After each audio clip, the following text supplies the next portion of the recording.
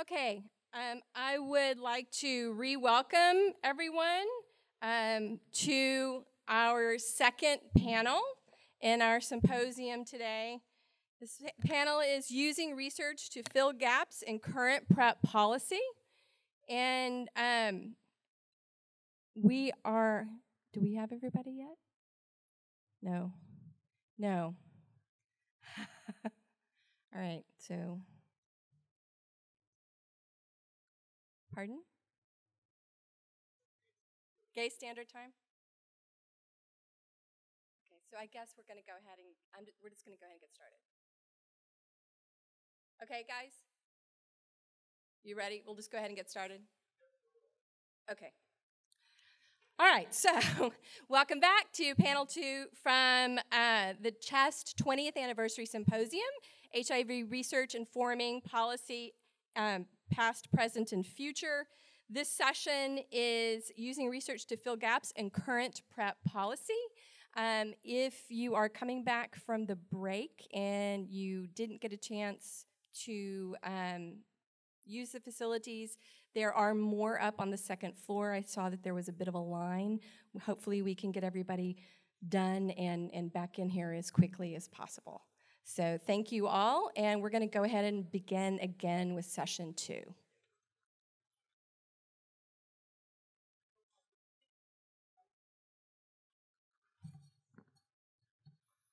Hi, everybody. Welcome back. Uh, th- this session, uh, you know, we're doing past, present, and future, right? So there's just absolutely no way we can discuss the present world of HIV without discussing PrEP. So, in fact, all of our researchers today and our discussant are going to be focused on what is uh, clearly uh, the, the most significant advancement in HIV since 1996 when multi-drug therapies were introduced, and in terms of prevention, probably the most significant advancement since the epidemic began.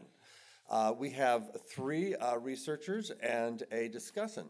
Our first researcher, and you can wave your hand when we do it, this is Tyrel Starks. There he is with the great glasses. Tyrel is a professor and current clinical director of CHEST. And what I like about the presentation he'll be giving is he's going to be talking about relational or relationship factors uh, and how they play a role in choices and behaviors surrounding PrEP, which I think is really interesting. Uh, he also uh, has a focus on uh, drug use and uh, sexual HIV transmission risk, so that's great. Next, we have uh, Dr. Jonathan Rendina. There he is, up front here. Uh, Jonathan is an assistant professor at psychology at Hunter College. He's also another investigator here at CHEST.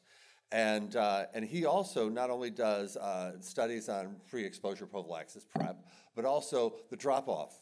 When does the drop off begin? We kind of think that sometimes people adopt PrEP and they're good forever, but in fact, we do see that, and, we, and he'll be discussing it. Next, we have Dr. Antonio Urbina over here. Uh, he is medical director for the Mount Sinai Institute for Advanced Medicine.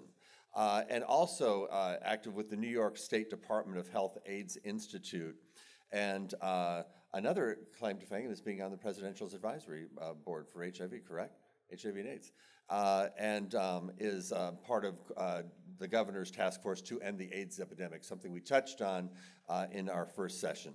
And then finally, our discussant today is the always quotable, always listen to what the man is saying, uh, Kenyon Farrow. Kenyon is the, say hello, Kenyon the U.S. and Global Health Policy Director for Treatment Action Group.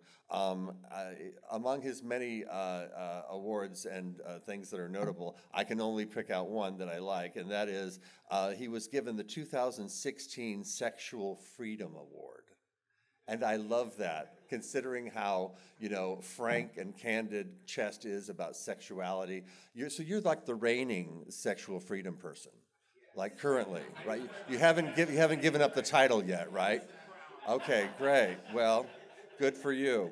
So let's get busy. Uh, we're going to start with Dr. Tyrel Starks, and he will be remarking on tailoring and framing biomedical prevention for gay men in relationships. So please welcome Dr. Stark. All right. So I occupy a little bit of a unique niche at Chest in the sense that my work really focuses on relationships and, and relational factors that are, are related to sexual health and other health behaviors.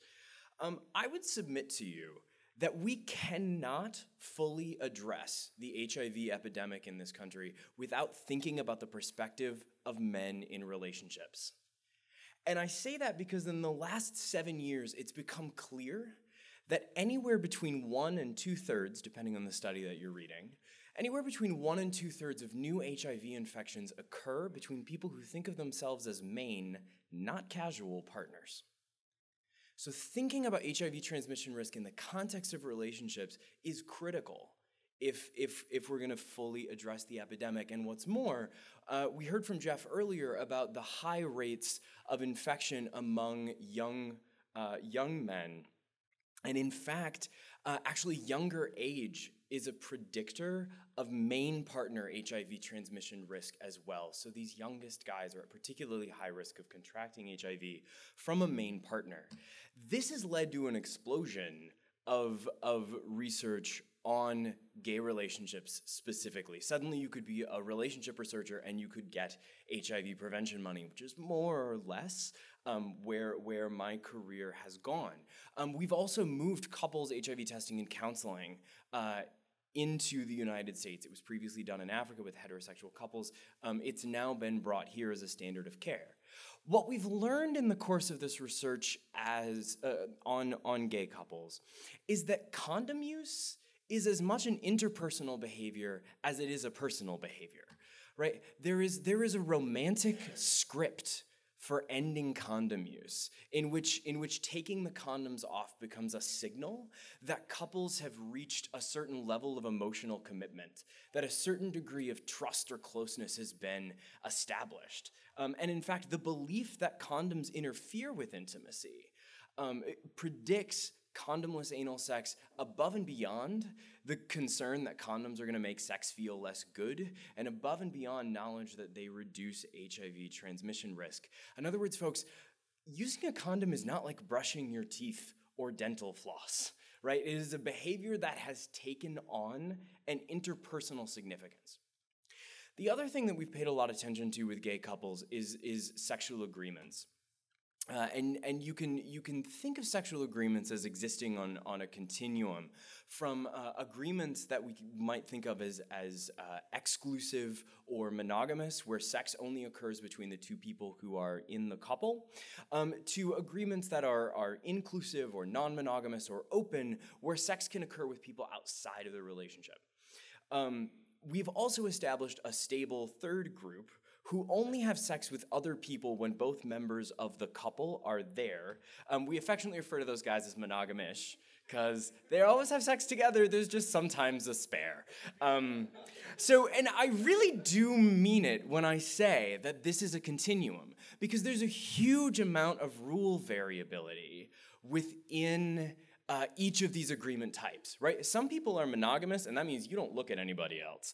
And some people are monogamous, and that means, well, we, we, we only have anal sex with each other, but like other stuff doesn't really count. So there's a huge amount of rule variability within these larger agreement groups. What we've also learned is that one of the reasons why couples form these agreements is to manage their HIV risk. So agreements are really relevant to the way partnered men are thinking about their risk. So enter PrEP. Now we have biomedical prevention. We can, we, you know, a once a day pill, typically Truvada, can dramatically and like 92 to 99% effectiveness at preventing uh, HIV infection if an HIV negative man is taking it regularly at the time that he's exposed. So the hope is that perhaps PrEP can be a less interpersonally loaded form of prevention where condom use becomes this thing that has so much interpersonal meaning, maybe PrEP can be a little more like brushing your teeth. Right? Maybe it, it, it can be, and, and in fact, um, there's, there's been some work done indicating that the belief that condoms interfere with intimacy, men who really believe that using a condom is a barrier to getting emotionally close, actually find PrEP appealing. So there's some hope there. So, what I was curious about is how do partnered gay men talk about PrEP? How, how are partnered gay men explaining their decision to either use PrEP or to not use PrEP? And I've had the chance to talk to them about this, or listen to other people talking to them about this, in the context of my currently funded R34. So, We Test uh, is funded by NIDA, and our goal is really to, to develop adjunct components to enhance the effectiveness of couples HIV testing and counseling. We've got some skills training videos, we've got a module that addresses substance use.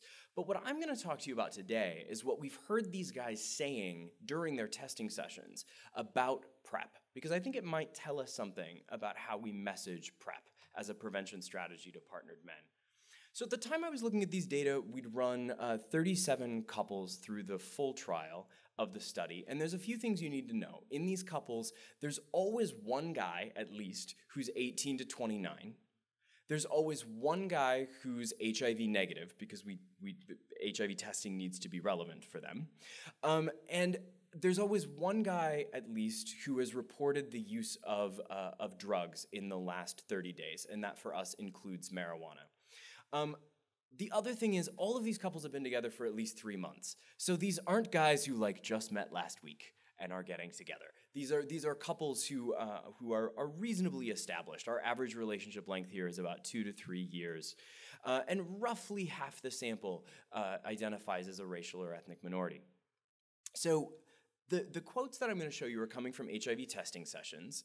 Couples HIV testing and counseling has eight steps. Um, you introduce the couple to the idea of testing together.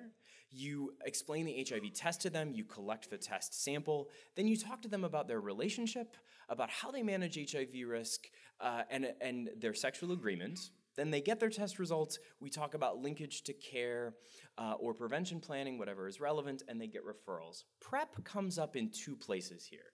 For guys who are on PrEP, we hear about it in step four as part of what they're currently doing to manage HIV risk.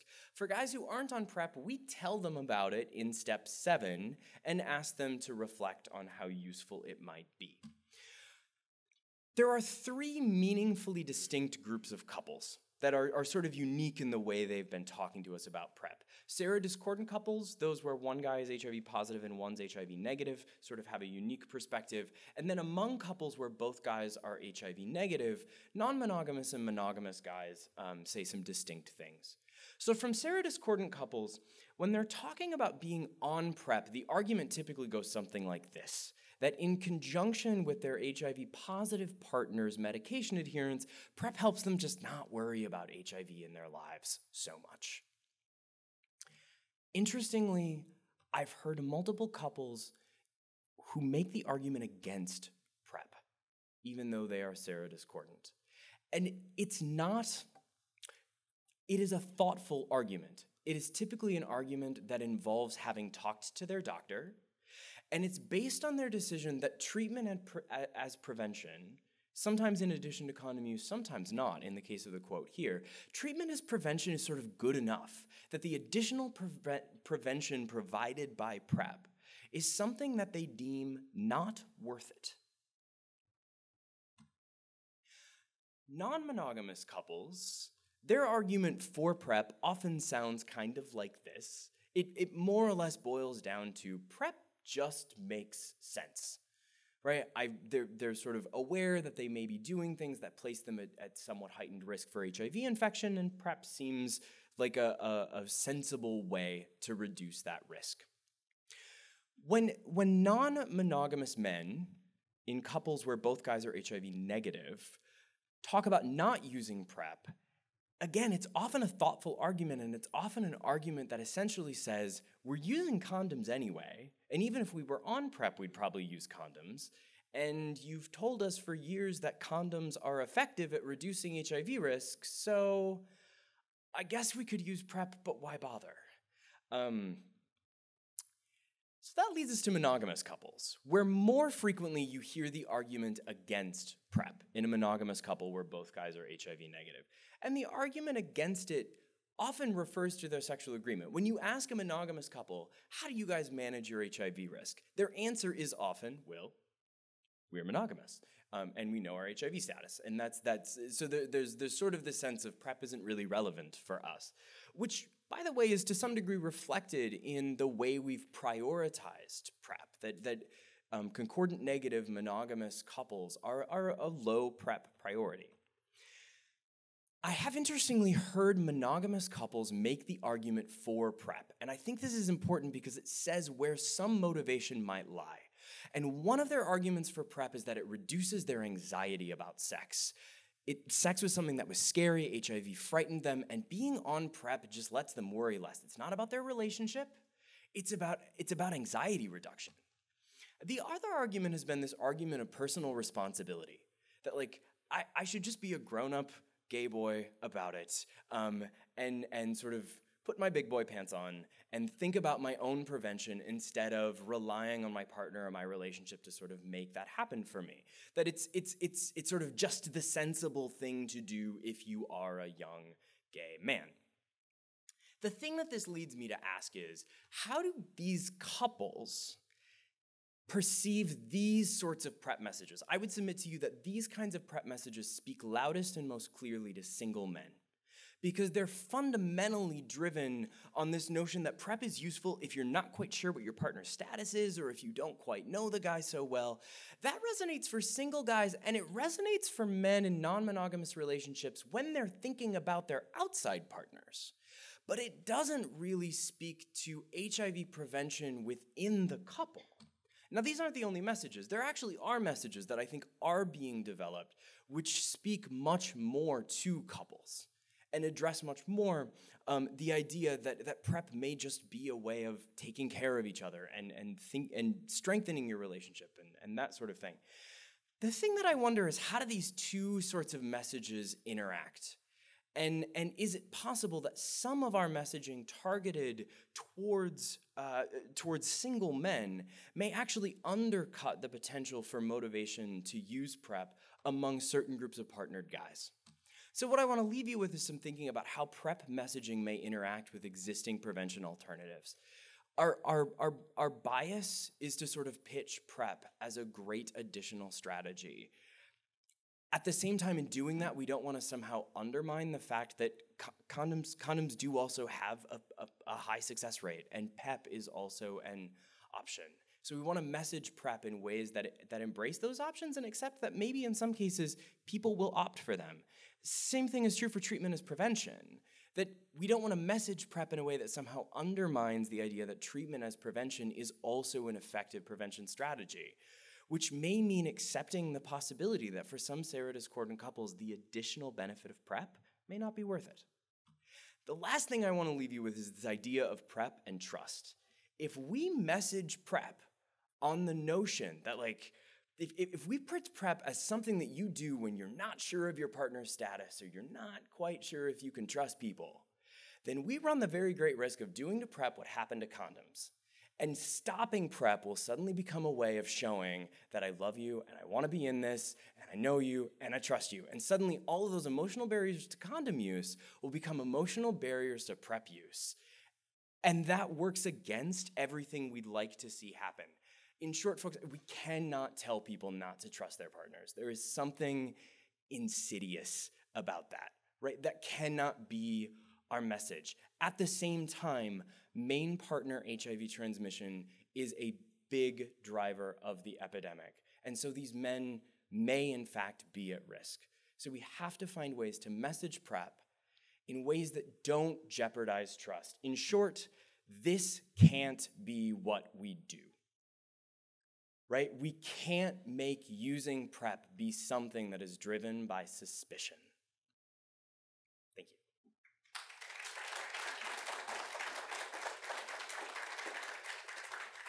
Thank you very much. You know, most of us are familiar with the treatment cascade. Did you know there's a PrEP cascade?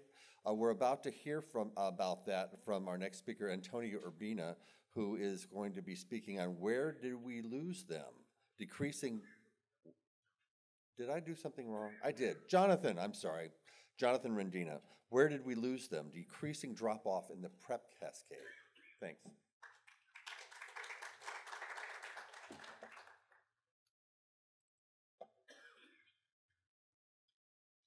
All right, thank you all for coming. Uh, so as he said, I'll be speaking today about uh, developing and looking at some research around a PrEP cascade that is uh, similar to the treatment cascade, which I hope many of you are familiar with.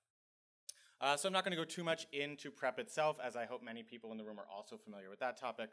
But uh, generally, PrEP has been shown to be highly efficacious, particularly for men who have sex with men. Uh, numerous community-based studies have been uh, used to demonstrate that PrEP has been highly acceptable among uh, gay, bisexual, and other MSM as well, uh, who have a very high willingness to take PrEP. Uh, but despite this high acceptability, this kind of general, I would take it if it were available for free, and you know someone dropped it off at my doorstep for me. Uh, uptake remains slow, and so we want to understand what are the various steps in the process uh, from getting men to think about PrEP to getting men on PrEP to getting men to adhere to their PrEP. Uh, and there are a few studies that address each of these points of drop off along this continuum from considering PrEP all the way to adhering to PrEP. Uh, two uh, examples have been proposed so far in the literature. Uh, one is uh, less specific to PrEP. This is an HIV prevention continuum. Uh, and because it's not specific to PrEP, uh, we lose a few opportunities to look at some things that are very specific to PrEP uh, within this cascade. Another option was specific to PrEP, uh, but is limited in a few ways. Uh, the primary limitation that I see here is that you look all, if you look all the way over at the fourth step, you have likely to receive a PrEP prescription. Uh, and the way that this was operationalized in this study has a lot to do with whether or not the men uh, are high risk and really good candidates for PrEP. And when you look at all these steps getting toward PrEP without limiting the sample to only those men for whom PrEP is appropriate, I think you miss something in the picture. Uh, and so one of the things that we wanted to do with our PrEP cascade was only screen for the people that are really in need of PrEP and then look at the various steps along the way. So what do we think should be in a PrEP cascade? Uh, pulling together the existing data that's uh, available from a range of studies typically looked at separately in a piecemeal fashion, uh, we see a, a, few different outcomes. One is PrEP, PrEP acceptability, often asked about as hypothetical willingness to take PrEP. One is planning to get on PrEP, so do you actually have behavioral intentions to begin PrEP? When do you plan to start PrEP? Stuff like that. Uh, one is then taking the necessary steps to actually initiate a PrEP prescription, talking to a doctor about PrEP, actually getting a prescription, filling your prescription.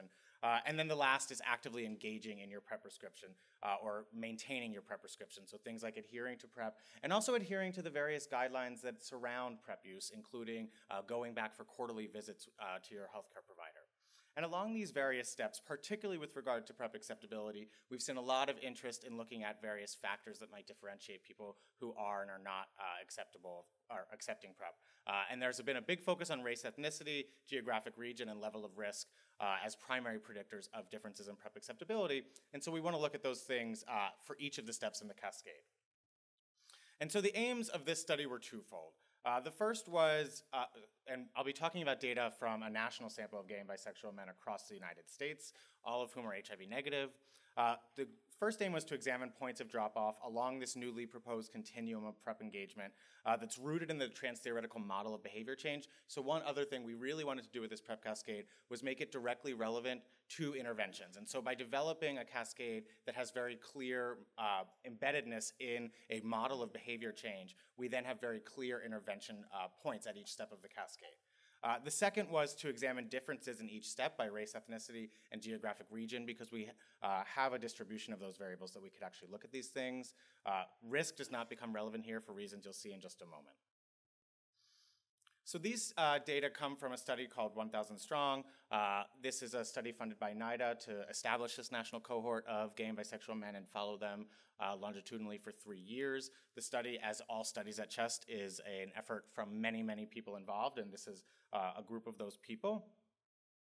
Uh, just very briefly, the men were recruited uh, via Marketing and Insights, a marketing firm that maintains a very large panel of LGBT uh, individuals. They all resided in the United States. They're all biologically male and identified as male, all gay and bisexual identified. They had to have internet access to be able to do the online survey. They also had to have a device to take a picture because we sent them HIV uh, test kits at home and then they had to take a picture of their results and upload it into a secure server for us.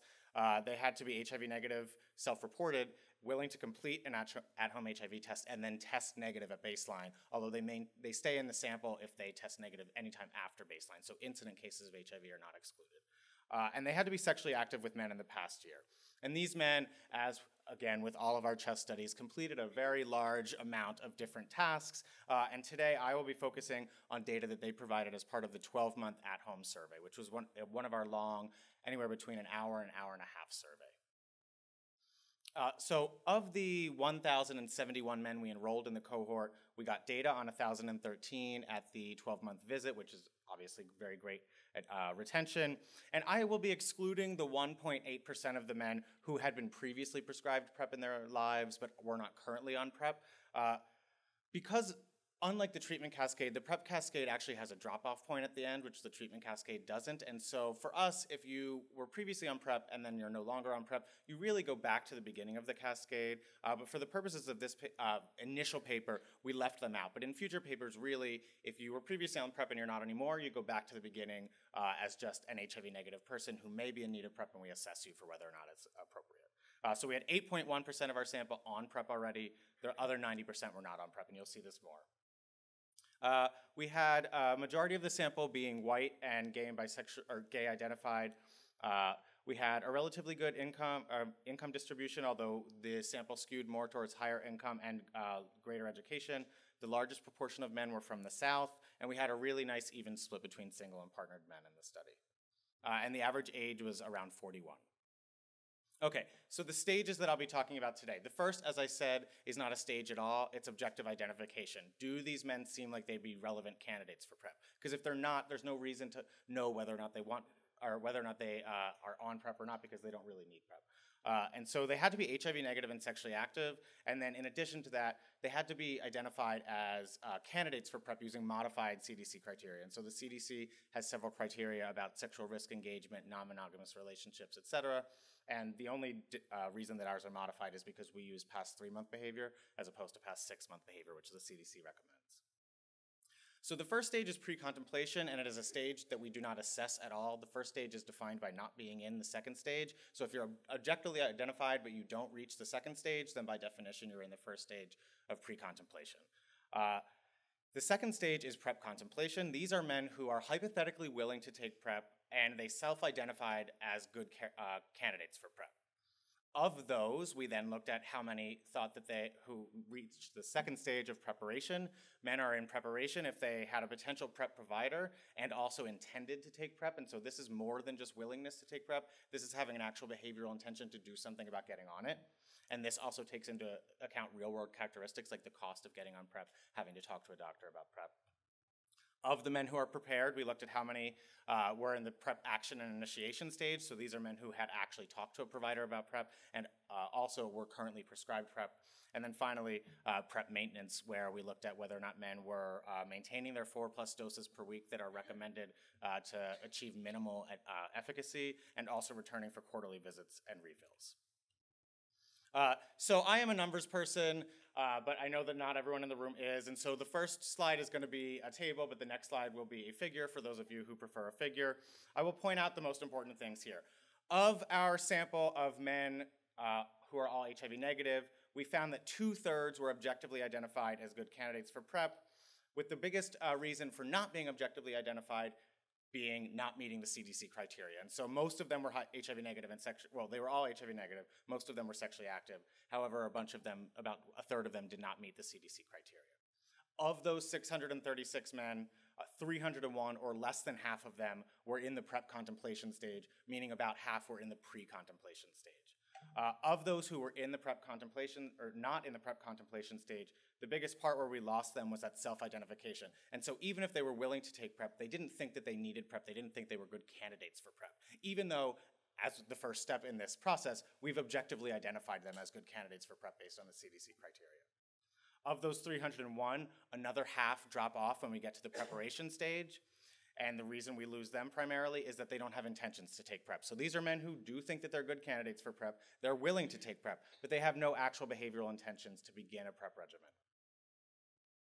Uh, of those 152, we lose about another half when we go to PrEP action initiation. And so these are men who intend to take PrEP, they have a potential PrEP provider, but they are not currently prescribed a PrEP prescription. I will point out we had a, a, pretty good number who had spoken to a medical provider about PrEP, but you'll see that of those, uh, there's a good proportion who still did not end up on a PrEP uh, prescription. And then finally, of the 82 who actually got on PrEP, the PrEP maintenance and adherence stage, we actually see the highest percentage here, so about 71% of the men who are on PrEP meet the criteria to also be in the PrEP maintenance and adherence stage.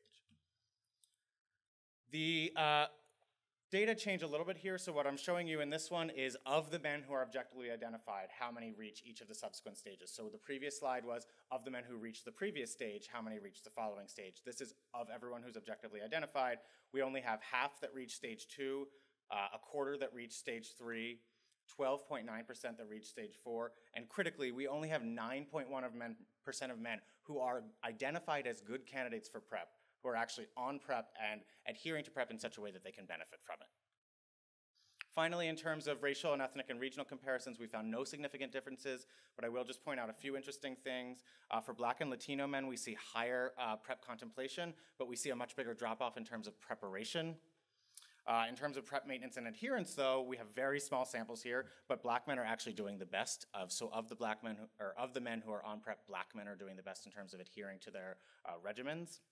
Uh, and then in terms of regional characteristics, uh, we see with the preparation and action, uh, or preparation and initiation stage, men in the Northeast seem to be having a much easier time getting onto a PrEP regimen than men in other regions.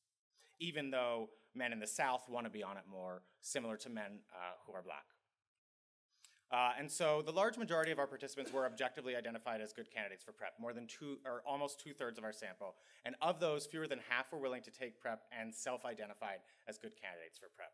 Uh, we're losing 50% of the men who could objectively uh, benefit from PrEP at each step of the way, for, uh, up to and including PrEP initiation. And so only about one in 10 men in our sample are actually on a PrEP prescription. However, the good news is that once we get them on a PrEP prescription, at least of these early adopters, we're doing a good job of getting them to come back for their visits and to adhere to their prescriptions. Uh, the most prominent barriers were perceived inappropriateness of PrEP, lack of intentions to begin PrEP, and not obtaining a PrEP prescription. The really important thing here is that two of these three characteristics are completely psychological and potentially intervenable. Uh, and we see no significant differences at any stage in terms of race, ethnicity, or region of the country, but one trend that we did see is that those people who want it the most seem to have the hardest time accessing it. These data are limited in many ways, including the fact that this uh, particular set of analyses were cross-sectional, though we do have longitudinal data. It's a large national sample that's approximately representative of the MSM uh, same-sex households in the United States, but overrepresents certain groups, uh, and the sample overwhelmingly had access to insurance, which is a major factor in terms of PrEP. So uh, the last thing is that we need a comprehensive health promotion strategy that employs public policy, public health, and individual level components, uh, going from routine offering of PrEP at the time of testing, taking a sexual interview, all the way down to psychoeducation for, for providers to reduce stigma and improve confidence. And of course, I will acknowledge the entire team at CHEST. Uh, and everything that has been said about CHEST and Jeff particularly is very true. I started at CHEST eight years ago as a doctoral student and just joined this semester as a tenure track faculty member in the Department of Psychology. And so it was really a dream come true uh, and very encouraging. So thank you.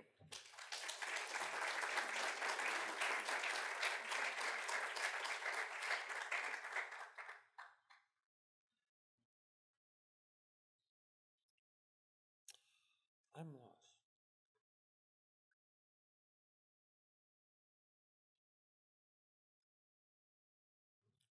Urbina. Thank you.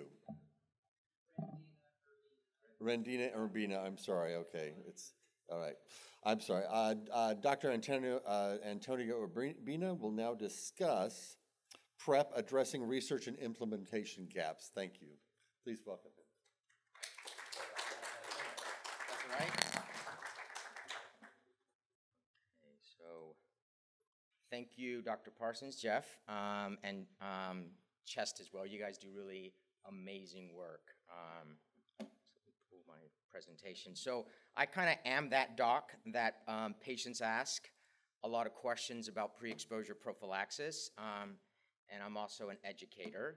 Um, as I'm introduced, I am at Sinai. So I have been in uh, HIV since 1992, and um, I've seen kind of the whole full circle. My oldest patient is 92.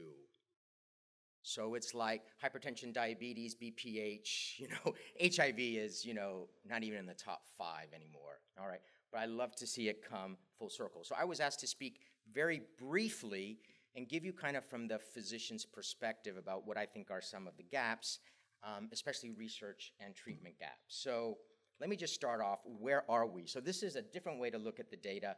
So this is looking at prescriptions, new prescriptions for PrEP, uh, tenofovir emtricitabine, so total incidence and growth trend. So this is from second quarter 2012 through the third quarter 2015. So you'll see on the vertical axis, these are the number of unique individual prescriptions per that year. all right? So, yes, we've seen this alarming, great increase in new prescriptions. So, in fact, about 49,000 unique individuals initiated Truvada. And this is based on a sampling of about 80 pharmacies that have prescribed PrEP. They exclude people that are given Truvada for um, chronic Hep B, for post exposure prophylaxis. Um, so that's 49,000. But the CDC says that we should be treating about 1.2 million. So we're not uh, near where we need to be, all right? About one in four gay men, about one in five injection drug users, and about one in 200 heterosexuals. Of those, about 460,000 women are potential candidates for PrEP as well in the US.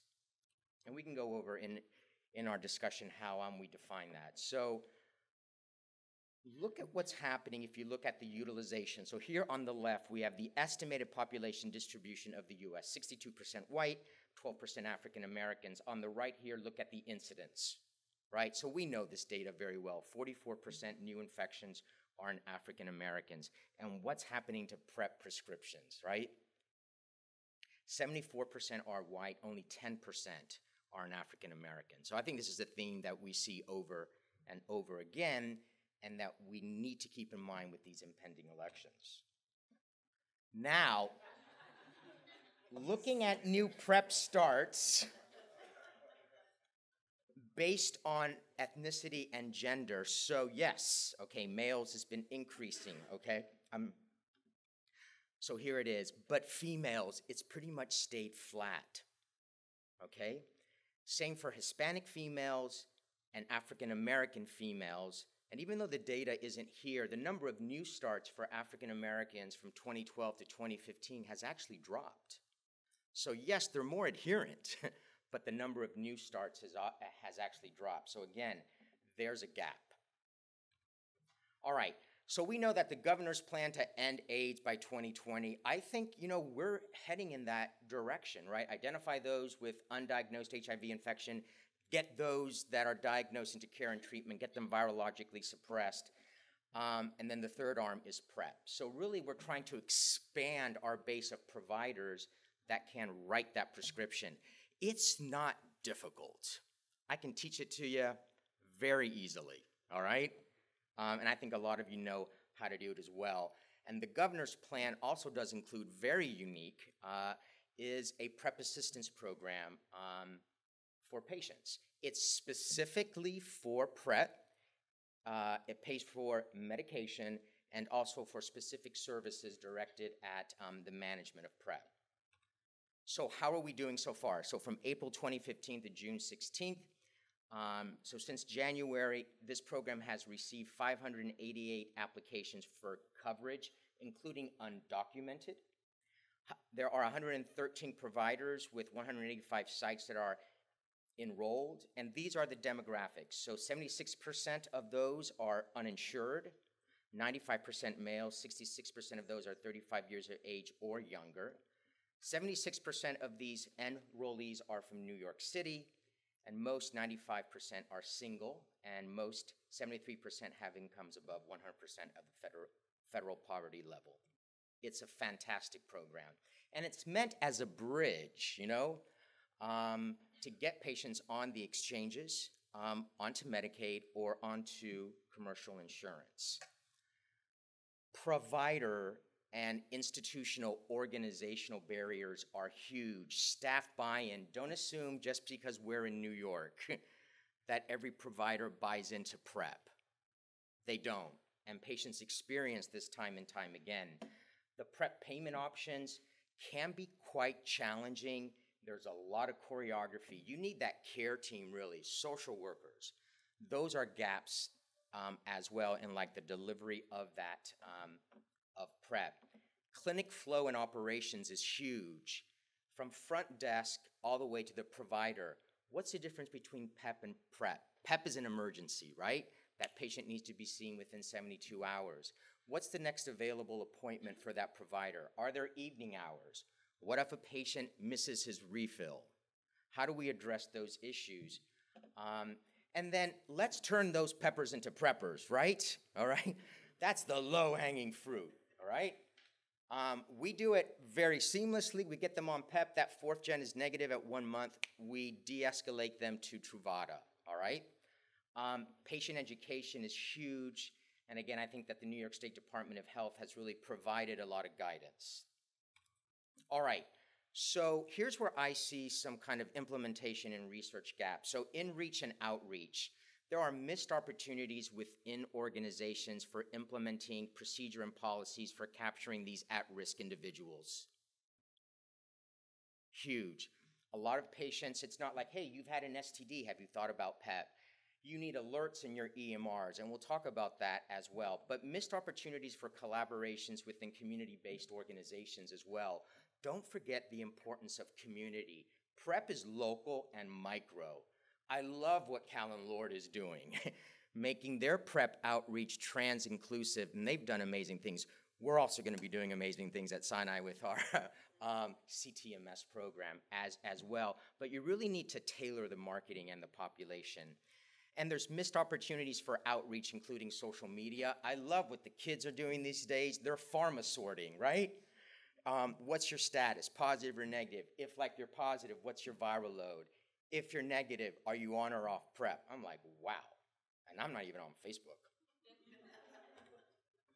So, drug delivery and diagnostics, where are we going? Long acting injectables, it looks like within maybe 18 months to two years, long acting injectables, it looks like it's going to be um, an injection every two months. So, six a year will be the first wave. But right around the corner are implantables, long acting, that can have half lives that can last for a year. So, again, lots of options in terms of ad, um, adherence. You need to know about new generation diagnostics. So, the fourth generation test is, is being implemented across hospitals um, across New York City. Point of care viral load testing and enhanced STI testing, including self collect samples, home based testing, and screening. So, start to think about those with some of your research ideas. PrEP needs to be um, easily accessible for patients. I mean, what a commitment for a 19 year old have to see a doctor quarterly. All right, so a couple of things that I just wanted to say very quickly, and it kind of, uh, you guys informed me, is about that um, ambivalence about patients, you know. And I'm not the most skilled at that. Sometimes it could be my social worker or another member of the care team. But I had an individual that, uh, that came in, and he was started on PEP. Um, injection methamphetamine use, all right? Um, he engaged in receptive anal intercourse, multiple partners, and he came in um, very fortuitously for PEP. So, started him on PEP, everything was great, and I started to introduce that conversation about PrEP. Had that ambivalence, you know what I mean? This isn't this isn't me, and um, so I kept him up. We just did the monitor, monitoring. He tested negative, and I and I was like, "Why don't you want to start on PrEP?" And he said, because it's going to make me sluttier. I'm like, but how much sluttier can you get? you know? But I kept on him.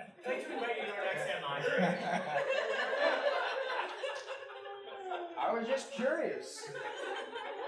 And um, so anyway, I am gonna, I was gonna keep on him, and um, I said, listen, come back in like six weeks. You know, he was HIV negative. I was very excited to see him because he had come back.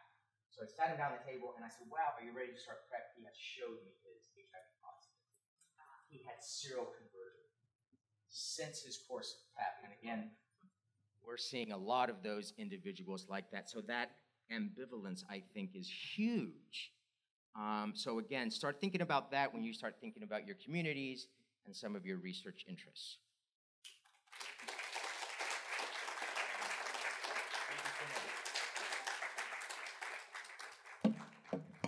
Thank you. And now uh, we will have our discussant, Kenyon Farrow, uh, Treatment Action Group, uh, to discuss a lot of what, the research that we've heard from his perspective as a policy person. Thank you, Mark, um, and thank you for the invitation, Chest. Um, so I'm going to say a couple things, both as a as a policy person and as one of the few kind of organizations that kind of looks at research and policy and tries to do advocacy and activism around them both. Um, but also as a 41 year old black gay man who is HIV negative and also on PrEP. Um, so there's some things I have to say about this from both personal and my kind of political and professional perspectives. I would say um, some thoughts I have overall about this discussion. Um, so to, to frame a couple things. So um, recently, two things happened to me in the last six weeks. One, I got a phone call uh, about some friends looking for some substance abuse treatment for a 26-year-old black man who was on a real crystal meth bender, um, was completely delusional, hadn't slept in several days or whatever, and who was having delusions as he was flying back to New York City from some work-related travel, uh, was transferring flights in at Reagan uh, National Airport. I actually hate calling it Reagan. Um, in National Airport in D.C um, but was paranoid and didn't get on his flight to New York and stayed overnight in the airport. And so we were trying, so I dropped everything and was trying to figure out how to get substance abuse, some kind of person to meet them at Amtrak because they were gonna, we figured out somebody in DC who he knew, who he would trust to, to get on Amtrak with him, to get him here to the city so they could walk him into a substance abuse treatment. Despite my connections with, uh, in the city at, uh, at HRA or uh, even in it's up uh, folks I know in the governor's office. The first question I got was, "What's his insurance?" I could not answer that question, right? Because he was not in a state to be answering questions about what his insurance was, right? So we actually could not get him into treatment once he got to New York, and I had five hours to try to figure this out. So that's something to think about, right? Second story 26 year old black gay man uh, this was maybe a month ago. A friend of mine, this is her younger brother, uh, is 103 pounds, falls out in Harlem, New York, uh, where he lives.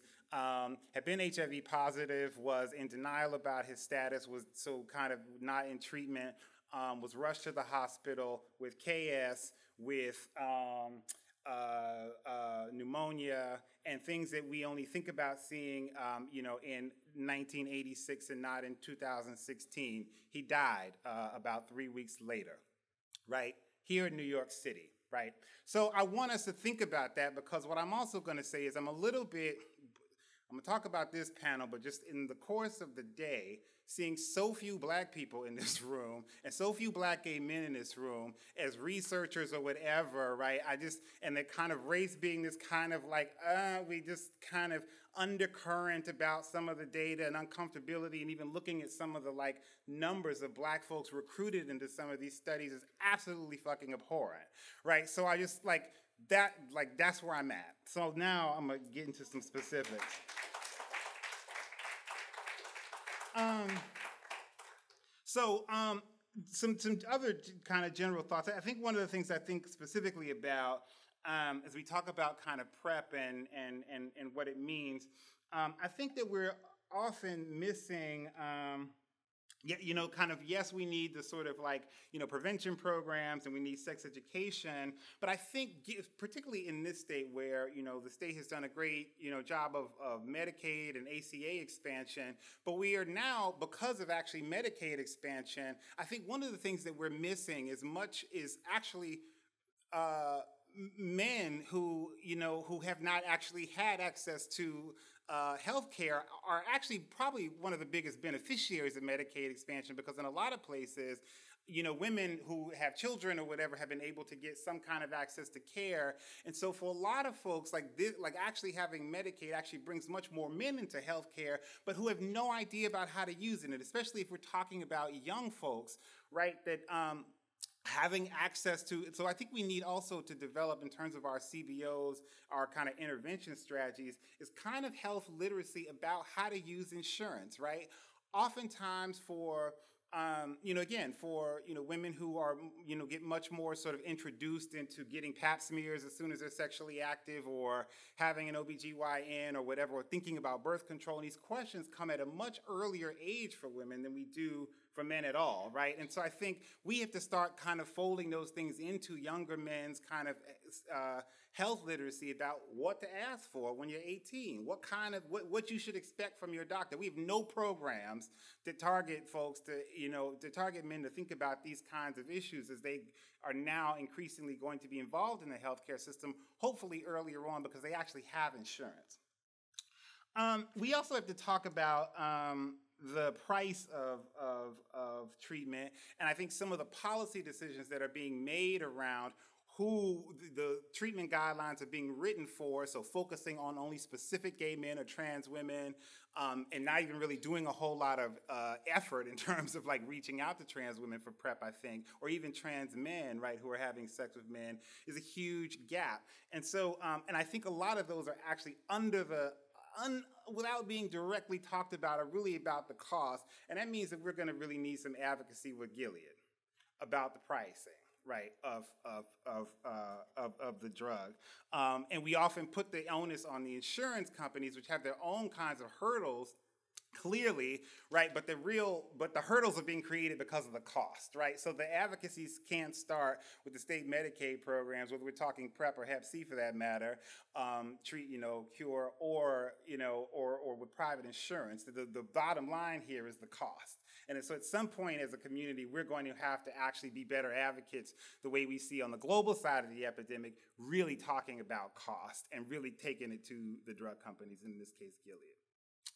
Um, so I only have a couple more minutes. So I'm gonna speak a little to some of the kind of key issues on the panel just to, to kind of get into it, although I have many more notes.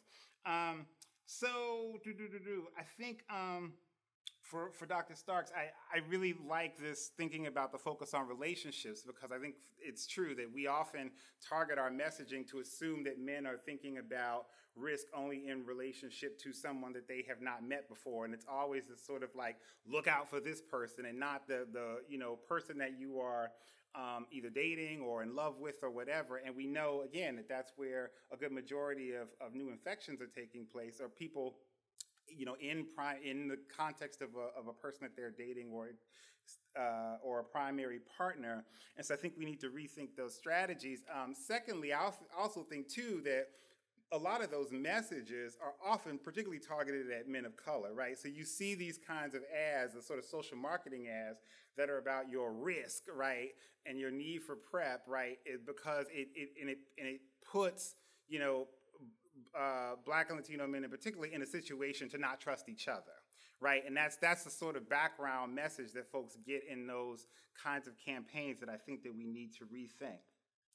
Um, for um, I think for um, our Dr. Uh, uh, Rendina's uh, presentation, um, I, I, was thinking about the sort of issues of differences in PrEP uptake, and I was reminded of um, this uh, recent study, HPTN 073, conducted by all black gay researchers. It can be done, they're out there. Side note, and showed that there were actually um, high, so they, they um, studied um, black gay men in, um, in uh, North Carolina, LA, and in Washington, D.C., um, and had um, great uptake of PrEP, great adherence to PrEP, you know, in that study. And um, I think that we, um, so I just want to raise that. And I think that one of the things in, in, that study that they also had developed, you know, a real clear kind of plan and a program um, and a sort of intervention was developed in the midst of that research to actually make sure that the men were engaged in care um, along the way. And I think that we need more research that sort of does that in, in, in conjunction. And then we need to kind of, where we see successful interventions as they relate to PrEP uptake, we need to really scale up those interventions, right? And, and, and um, market them elsewhere. Um, I'll say two quick things and then close. One is, so I think to this issue of, like I said, I think cost is obviously a concern, but one of the things that I've been um, very aware of in my now eight, about 18 months um, on PrEP is that we're now asking for men who are, uh, or for, for, in this case as a black gay man, but for anyone using PrEP, um, people for who are HIV negative, right, to frankly actually be having to manage as though they have a chronic condition, right? My first year, I had seen my provider every three months, right? Every roughly 90 days, STI test, HIV test, um, checking, make sure you know uh, no you know kidney or you know uh, issues or what have you. Um, and so I'm, it's like, damn, that's a lot of work, right? Like I had to really, um, and then also dealing with my insurer, right, who um, you know has a a specialty pharmacy, I have a much greater appreciation, even as somebody who has been doing HIV work for 15 years, as an as an advocate, as somebody negative, I have much more appreciation for folks who are positive and all the bullshit you have to deal with with insurance companies and them forcing you into these specialty pharmacies. I like spent two days arguing, trying to get the you know prescription at my local CVS because I travel a lot and that is more convenient than having it sit on my doorstep while I'm gone for a week or whatever. And I lost, right? Like I, I fought and got it released, authorized for one month, the first prescription to go to the CVS. But I got tired of fighting. And as you can tell, I have a pretty big fucking mouth. So if I got tired of fighting at 41, right, somebody who does this work, somebody who's 25, right, who doesn't do this work, trying to navigate and negotiate these sort of processes, right, again, artificial barriers that are created because of the cost of the drug, I'm clear. So we need to be both fighting with the insurance companies around these access issues, but also around the cost through which these access issues would not be the problem. Um, so I have run out of time. I'm gonna shut up there, and maybe we'll have some questions after. Thank you.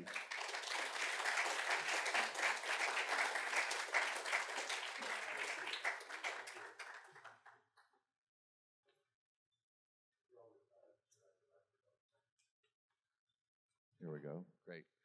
Um, so we, uh, because I've been such a stickler for time, we actually have a luxurious amount of time, maybe 15 minutes for some questions. That will include yours this time. I'm going to get them warmed up, and then when I look out, if I see you, know, please by all means raise your hand. Somebody will bring you a microphone. I feel like Hillary at the debates. After all that. Um, that was great, uh, and, and, there's so much uh, to, to, cover. And so let me just, I, there's many ways I could begin. Let me just throw it out this way. Let's start with providers. Let's have a conversation about providers. You, Kenyon, you were just talking very well about uh, uh, uh barriers, and, and, and one thing I see is this, and there's there's there's two barriers I see uh, offhand. First of all, is kind of the the social community ambiguity that you spoke of. Somebody was that you? spoke of the ambiguity in the community about uh, PrEP and the hesitancy about that. Uh, and, and, then secondly, providers. We know that, that Truvada as PrEP was not rolled out the way that uh, a pharmaceutical typically rolls out a drug with all sorts of uh, uh, provider education, commercials on television, all of that. And you have providers who are not, in many cases, are not treating HIV positive people. They may be treating largely HIV negative people, so they're even less likely to maybe be well informed about that. Uh, and when they uh, interview their patient to, to, try to decide, they may be less likely to be um, uh, uh, compassionate or sensitive in that process about what their judgments may be of what kind of sex that person is having. So, uh, that all being said, how can we make the process of taking sexual histories more comfortable, of um, of uh, educating providers uh, in, uh, uh, in the absence of the pharmaceutical doing that, uh, and, and, and, the challenges there related to providers. I guess. um, you know, one thing that you need to do definitely, I think if we're going to reach the goal, is that um, PrEP needs to be scaled, not just in HIV clinics, but even at Sinai, it's like primary care clinics, OBGYN. So that's one research study that we're doing right now. I have a resident. Um, she was rotating with me. She's great natural with PrEP, and she's going to cheerlead this across Sinai, but not just at the HIV clinics.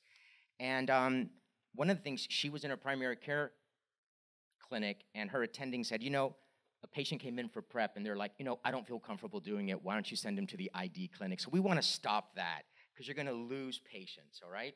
Um, you know, built it in a system, you need policies and procedures, you need to use the EMR, you know, make that your tickler, you know what I mean? So, HIV test that comes in that's negative, have you asked about PrEP? An STI, have you asked about PrEP?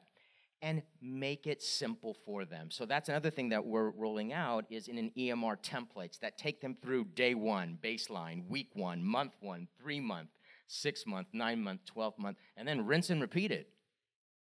You know, but um, you really need to. I think if we're waiting for everybody to come on board, we're going to miss a lot of opportunities.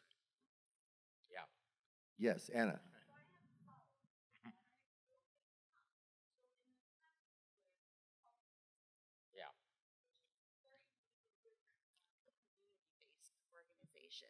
Will they come? Can I answer that question? Thank you. Um, and just so you all know. And you are. I am Barbara are. Warren. I'm the Director for LGBT Programs and Policies in the Mount Sinai Health System. I'm also Assistant Professor of Medical Education at the Icahn School of Medicine. Um, and I'm actually the former director of this center. So it's really nice to be here again and see all of you. Um, actually, along those lines, I was going to say um, very quickly that um, it has been appalling to me. We have a mandatory training program for residents in general medicine. We have the largest residency training program in the country at Mount Sinai. We have 2,600 residents, most of whom are general med residents, and they rotate through a lot of places, including our very large primary and ambulatory care system. We have a mandatory residency training program now that include on LGBT health that includes PrEP, PEP, assessment, uh, uh, management, follow up, all that kind of good stuff. It's been appalling to me in all of those clinics. Um, n- not so much with the residents who are asking to be trained in this, um, but the faculty that come in, the attendings, who say after we do our trainings, we need some training on that too. We don't know that. Um, so, you know, we're starting with the residents, but we really need our own uh, providers really are not up to date on that. Um, the other thing that we're doing is we're integrating LGBT content throughout medical and nursing education. We have a nursing school, we have a, a medical school. Um, you'd be surprised how little uh, attention there's attention paid to research, but how little attention there is paid to uh, building the patient-provider relationship around issues of sex. Of uh, you talked about sexual sexual screening with diverse populations, diverse populations including trans people. I didn't see a lot here today about trans people. Um, talking about unconscious bias and racism in medicine and how th- all of that plays out. So I think we're beginning to address that. We're doing it in Mount Sinai. We're- I'm talking to people across the country, but it's it's really lacking and appalling in medical education. And I think that's that's part of the problem. And so, um, anyway, I just wanted to comment. Thank you very much. Uh, my panel have anything to add to that or Just discuss on one that? quick. I think I think outside of so there's both there's providers and then I actually think that we have some work to do, frankly, within our kind of community-based organizations because I there's there's not a uniform kind of consensus about prep, right? And and and and I hear this from talking to just kind of grassroots, like the kind of baseline outreach workers who are going to be often that fir- the first person people hear about prep from, right, is somebody who's doing outreach or prevention at some CBO. A lot of those folks are are not necessarily on board, right? And so we actually have we have so much work to do, right? to both at the provider level and even the places where we think people are going to the uh, places where people be the most kind of linked. Um, their organizations, their EDs might be on board, but that message and the kind of transformation there has not happened even at the like most like kind of the the, the real kind of frontline level. And I think we have to think about that as well. I would also just add, I think that this is an area where policy actually can make a really big difference. Integrating PrEP into HIV testing. HIV testing has, you know, for the most part, especially in New York, become relatively routine as part of primary care. And I think to the extent that we can embed PrEP into that process and make it a, a mandatory policy that that's part of HIV testing is providing information on PrEP will be will make a really big difference. Uh, and I think taking a sexual history is just, an, but doctors providers don't want to do it the patients don't want to talk to their providers about it and so i think you really do either the emrs or some type of digital system for taking a sexual history routinely as part of regular medical care uh, i think is critically important. And in some ways, in sorry, in talking to couples, this this idea of pitching prep as routine care uh, has uh, has come around, and and I, I I think it's maybe worth listening to because if you pitch it as routine, as something that's maybe a little bit more like a vitamin than a specialty STI service, you you you potentially scoop in people who are open to the idea that this is a routine part of healthcare and maybe I could add this to my regular routine who who aren't so open to the argument that this is specialty healthcare for people who meet a certain set of criteria. Right? They, they sort of push back against the identity that's associated with, with being high risk, and they push back against PrEP and doing that. So I'm, I'm, I, I think there's multiple ways in which the, the more routine, um, the more unremarkable we make PrEP, the more broadly appealing it might be. Were you making an argument in your presentation that among couples who claim to be monogamous and believe themselves to be, that PrEP could somehow be introduced as a way of just feeling less anxiety about sex? Did I hear that from you correctly? Because if I did, I kept thinking to myself, who's buying that? I mean, aren't they really thinking to themselves, oh, I know what this is for in case he screws around? Oh, interesting. um, so, so I, I think I think there's there's a handful of things that are simultaneously true. Some men are in monogamous relationships with other men, and both parties are HIV negative, and there there is no risk of HIV infection there. It is also true that sometimes slip ups happen, and sometimes HIV does make its way into relationships that have monogamous agreements, and then there is a very great risk of subsequent main partner transmission. Um, the message that you can't send is even if you think you're monogamous, well, you might not actually be, right? So you that that that that frame doesn't work.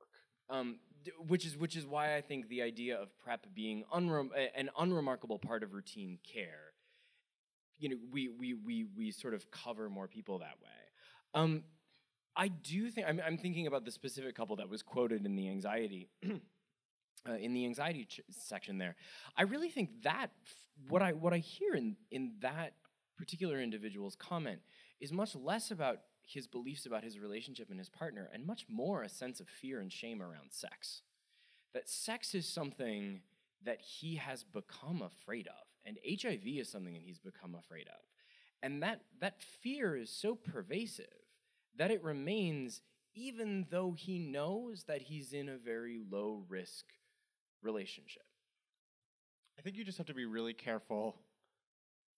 You know, you don't want to tell them that they can't trust their partners, but at the same time, you don't want to treat them like they're completely naive and have no idea what PrEP is for. And so you can't just say PrEP is routine and for everybody. PrEP is for And that's the purpose. message I was it's getting. for HIV prevention, and so I think the message more maybe needs to be a slip up doesn't mean you can't trust your partner. Like what what does trust mean in your partner?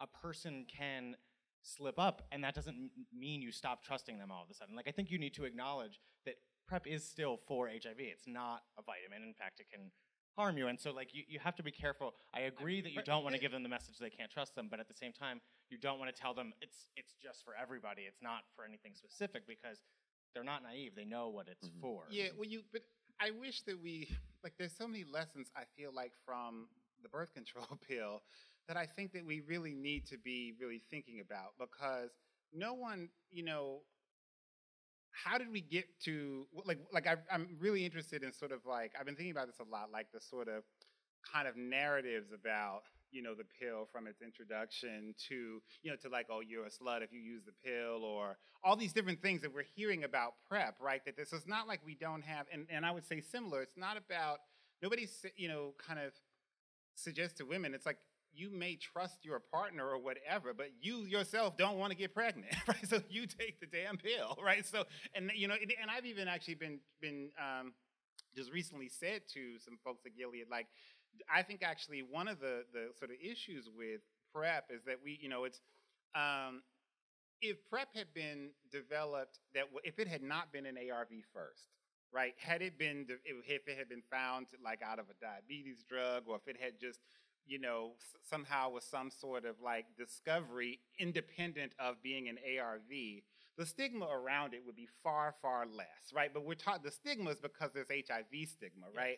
yes. And so I'm also thinking about like what are- what is the does the packaging have to be in that pill bottle? What if it was more like a birth control pill where it was like around 30 days? It, it helps you think about your adherence because you're looking at the days. One, like there are all these things. Now, I mean, that requires an FDA change in the, the packaging they have to do like legally. But I don't care. They have all the money in the fucking world. They could do it. Like I, you know, they do. So I, you know, I think we have to think about things like that. And secondly, I. I do also worry about the, the prep is for specific people message, right? So, because because I think that the speak just speaking as a as a black gay man and the folks that I talk to, folks are tired of hearing that like the only thing that people are concerned about is your seroconversion or not, right? And I think that we've done a disservice by not actually doing just a like mass public education, like from the national level, most people in this country are still walking around with HIV 101 information from when Magic Johnson tested positive or when the, the cocktail drugs were discovered 20 years ago. That's it. That's all people know. So we have to do much more work to, re- like, mass level, everybody in this country ought to know about treatment as prevention and what being virologically suppressed means in terms of sex. And everybody should know about PrEP, right? And I think that once for me, I think about this like black gay men and black trans women don't exist in vacuums. We have aunties, mothers, uncles, folk, and so if folks hear on the Tom Joyner Morning or Steve Harvey Morning Show about PrEP, they're going to say to their sons or their daughter, their trans kids, "You heard about PrEP? What you know? Like we need to have this conversation. You know what I mean? So like our efforts, and like I said, all of these barriers are just about the cost, and so we have to not let that be anymore the the the blockage point to actually the kind of mass education I think we need about it to actually get to the right people. Thank And- you, Kenya. I'm and- sorry, in the few minutes we have left, I really want to get to audience questions. You, sir, and then you, ma'am, over there. And if we could get a mic to this man here, please. And we're going to be real quick here so we can fit in a couple of questions. Um, and we're going to push it five minutes. Uh, thank you. My name is Justus Eisfeld. Um, I work as an independent consultant. Um, it's this is not so much a, mess, um, a question to the audience, uh, to, to the to the panel, but more um, a question to the organizers. Um, when when when I saw um, talking about research gaps and and um, gaps in prep policy, as a as a gay trans man, I'm I was expecting to hear something about trans people in prep, um, to hear something about um, the specifics of um, why trans people are HIV positive, especially with regards to um, worth of the body, how much your body is worth to you um, in its present or future form. Um, and I've been missing that up until now, and, I, and I'm a little bit frustrated by that. Um, so, uh, so that's just something I needed to get off my chest. I, I'll just Uh, say quickly, yeah. we we actually have we just completed the baseline enrollment for our study of transgender women, uh, and we I am working with a student right now on a thesis that will be focused entirely on prep uh, interest, acceptability, uptake among tran- among that sample of transgender women. So. Hopefully, sometime soon, that at least Yeah. our data will be forthcoming. I don't know about. And to your point, yeah, I mean, the prevalence rates are huge, 23%. I mean, seroprevalence rate. So that's an important population to reach now. And you also may want to have a conversation with Jeffrey Parsons during your coffee break, who was explaining to me just earlier about the uh, increase in research funding targeting uh, trans men and women specifically. Um, but thank you for bringing up that concern. Yes, ma'am. It's an opportunity for me to sneak in that I'm a, a chest admirer, and this has been a terrific program and continues we to all? be. And um, I just wondered whether the narrative about harm reduction for use of substances might be useful because it might it, it's stigmatizing to use substances, but it might be useful for people to say to each other, you know, sometimes we drink, sometimes we smoke weed, sometimes we whatever, blow coke, whatever it is and we got to look out for that. That doesn't stigmatize him who you're having sex with. It doesn't, you know, break up the couple necessarily. It just acknowledges something in your lifestyle. And anybody closing remarks, or can I move us on? Would you like? Did you? No, I just think that's an Please. important point. Yes. And you can script things like with a provider, like, for example, do you find it difficult when you go out on the weekends not to use? Or normalize the behavior, even if you don't, at that point, are a, are a harm reductionist. Words are important. And so, again, you can script things, you can put them into policy and procedures. And you just got to make sure that when that person is ready, that when they have that point of care, it's excellent. The problem with having so many smart people together is we're just, just simply not enough time. We are about to break for another 15-minute coffee break. Um, this time, I know that Elizabethe would, would appreciate me telling you that that means at the end of this 15 minutes, we are all sitting here and we're ready to go again.